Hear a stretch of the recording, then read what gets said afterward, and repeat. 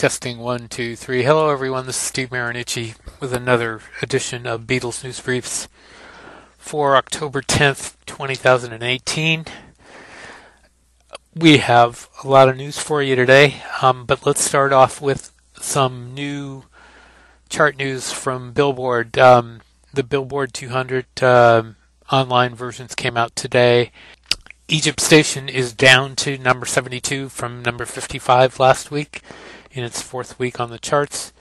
Um, but Beatles 1 is up to 163 from 177 the previous week, and Abbey Road is up to 190 from 194 the previous week.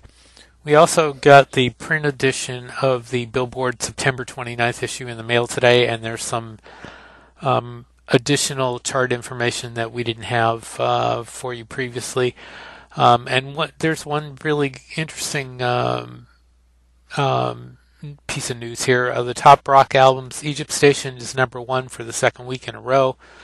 Uh, on the adult contemporary chart, Paul McCartney's Come On to Me is number 13, up from number 17. Top album sales, uh, Egypt Station is number four, down from number one the previous week.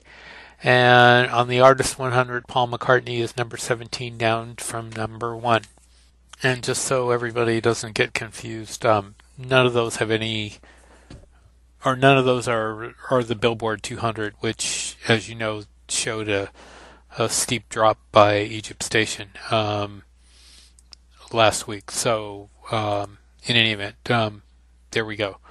Um, now moving on to John and Yoko. Um, Abbey Road put out a a, uh, a banner, um, and Tony Bramwell uh, tweeted it, uh, a picture of it today. Uh, it said, "Imagine all the people living in peace." Um, so they're they're uh, going along with that, and the the, subway, 72nd Street subway in New York uh, now has um, sky murals created by Yoko Ono um, that they've installed there for the time being. And if you want to see pictures of them, go to the MTA Arts and Design Twitter post. Um, they really look nice, and it's a beautiful thing that she did. Um, also, uh, we had a story on Variety.com that you can still read.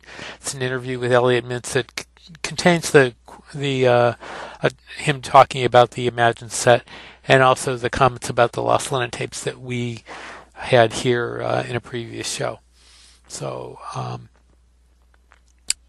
and we have reports of a McCartney sighting. Um, a source told us that Paul McCartney was sighted at Gillette Stadium in Foxborough tonight for a private event for Robert Kraft, owner of the New England Patriots. The Boston Globe reported this morning that it was a concert uh, for a private party for Mr. Kraft. Um, Paul drove by and waved uh, as he before he played the uh, the stadium, um, and uh, he, played the old Foxborough Stadium uh, there in 1990. So uh, who knows?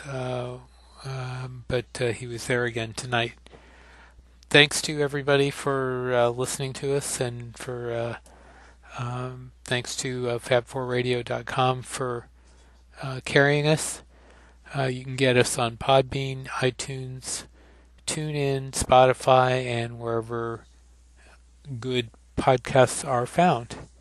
Uh, until next time, this is Steve Marinucci saying we look forward to seeing you, to talking to you again, and when there's news, we'll be there. Take care, everybody.